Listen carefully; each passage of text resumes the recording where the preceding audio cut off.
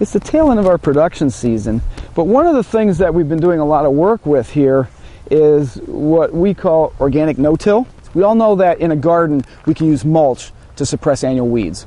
Well, how do we do that on a field scale? Well, what we're doing is we're growing the mulch right in the field in the form of cover crops, and then we developed a roller crimper. It's called the Rodale Roller Crimper and it rolls the cover crops, crimps them, and kills them mechanically. So we don't have to use any herbicide. And here we have some tomatoes. Uh, again, it's the tail end of our season, but some exciting things to look at here is this is a field of organic no-till tomatoes, and you can see late in the season we're still having really good weed control with this mulch that has smothered the weeds. These tomatoes, uh, in this case, were hand transplanted, but there are machines that will transplant into these dense cover crops. Here we have a tomato plant growing out of this mulch. And of course, it's the end of the season, so the tomatoes are dying back.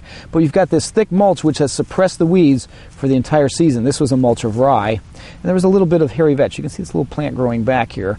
Uh, this is a hairy vetch plant.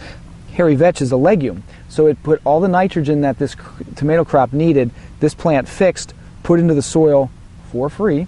We do this with corn and soybeans. We do it with vegetable crops. We do it with pumpkins, squash, cucumbers. Uh, we have farmers all across the country now that are working on this. But it's kind of exciting now that we can begin to uh, move into the area of no-till without using herbicides.